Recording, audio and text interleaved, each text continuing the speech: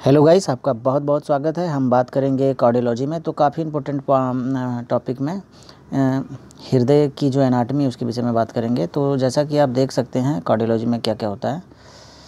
तो कार्डियोलॉजी में सबसे पहले आप देखेंगे, जो है इसमें चार चैम्बर होते हैं। एक होता है राइट एट्रियम एक राइट एट्रियम होता है, एक होता है लेफ़्ट एट्रियम एक होता है राइट वेंट्रिकल और एक होता है लेफ़्ट वेंट्रिकल तो गाइस जो ये राइट साइड का हार्ट होता है, इसमें जो है डी ऑक्सीजनेटेड ब्लड होते हैं और लेफ़्ट साइड में ऑक्सीजनेटेड ब्लड होता है। तो गाइस जो इसमें सिस्टोल और डिस्टोल होता है, जो हार्ट में सिस्टोल होता है और डाइस्टोल होता है सिस्टोल होने के बाद भी जो जो इसमें चैम्बर हैं हार्ट में चार चैम्बर होते हैं और चार वाल्व होते हैं।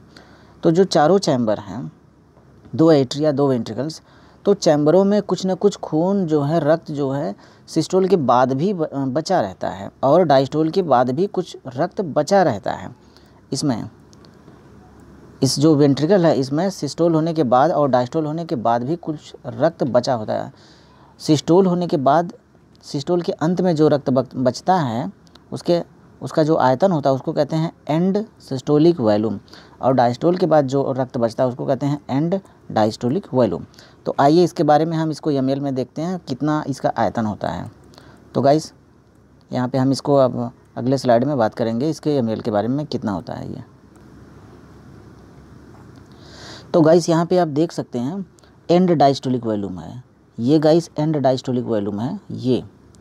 एंड डाइस्टोलिक वॉल्यूम का मतलब ये होता है कि डाइस्टोल के ख़त्म होने के बाद भी रक्त का जो चैम्बर है, उसमें 120 ml बचा रहता है खून। नॉर्मल में बचा रहता है। अगर किसी व्यक्ति में 120 ml से ज़्यादा या 120 ml से कम खून बचता है, डायस्टोल के ख़त्म होने पे, डायस्टोल के अंत में, एंड डायस्टोलिक वॉल्यूम में तो इसका मतलब है उसके हार्ट में कोई प्रॉब्लम है कोई दिक्कत है, कोई समस्या है। और सिस्टोल के ख़त्म होने के बाद रक्त में कुछ खून बचता है। वो जो नॉर्मल खून बचता है, जो जिसका आयतन है पचास एम नॉर्मल होता है। यानी कि एंड सिस्टोलिक वैल्यूम यानी कि जब सिस्टोल खत्म हो जाता है, जब हृदय में सिकुड़न होती है, सिस्टोल का मतलब सिकुड़न होता है, डायस्टोल का मतलब फैलना हृदय एक बार सिकुड़ता है, एक बार फैलता है। तो हृदय के सिकुड़ने के बाद भी पचास एम का जो रक्त है, इसके चैम्बर में बचता है। और गाइस जो स्ट्रोक वैल्यूम है, जो हृदय स्ट्रोक करता है, जितना रक्त को स्ट्रोक करता है, उसकी नॉर्मल वैल्यू है सत्तर एम एल सत्तर एम जो एक बार में ये स्ट्रोक करता है, एक बीट में स्ट्रोक करता है। एक बार बीट किया, सत्तर एम खून वो भेज देता है।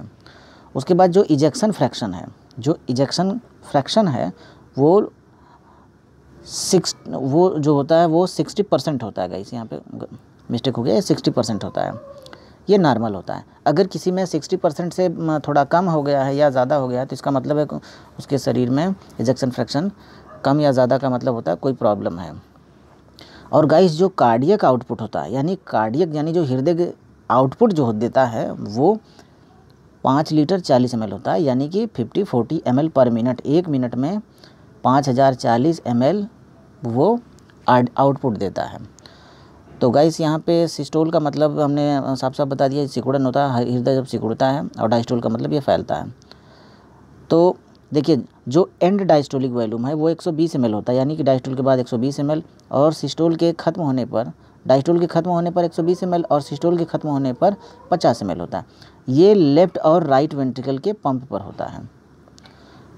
और गाइस जो स्ट्रोक वैल्यूम है स्ट्रोक वैल्यूम होता है 70 एम यानी कि 70 एम एक बार में वो स्ट्रोक करता है।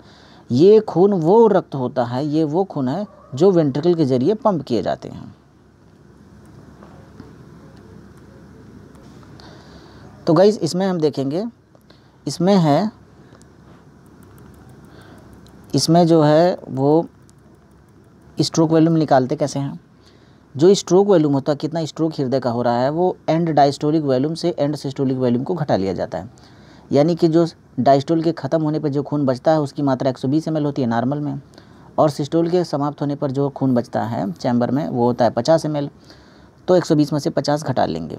तो स्ट्रोक वैल्यूम आ जाएगा सत्तर एम एल सत्तर एम नॉर्मल होता है। यानी किसी व्यक्ति में अगर सत्तर एम एल से ज़्यादा या सत्तर एम एल से कम स्ट्रोक हो रहा है तो इसका मतलब उसके शरीर में कोई समस्या है। देखिए ये दो चीज़ों पर निर्भर करता है कि डायस्टोल के ख़त्म होने पर कितना रक्त बचता है, एक सौ बीस बचता है या इससे ज़्यादा बचता है, या इससे कम बचता है।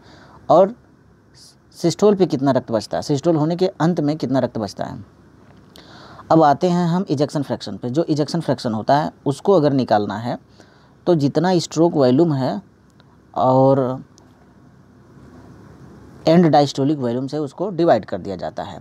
तो नॉर्मल जो स्ट्रोक वॉल्यूम है, वो सत्तर होता है और नॉर्मल एंड डाइस्टोलिक वॉल्यूम 120 होता है। अगर किसी व्यक्ति में स्ट्रोक वॉल्यूम ज़्यादा होता है और एंड डाइस्टोलिक वॉल्यूम नॉर्मल है, फिर भी एजेक्शन फ्रैक्शन मतलब एम नॉर्मल हो जाता है तो तो भी मरीज़ में समस्या आ जाती है। तो एजेक्शन फ्रैक्शन की जो नॉर्मल वैल्यू है, वो 60 परसेंट होती है, लगभग 60 परसेंट होती है।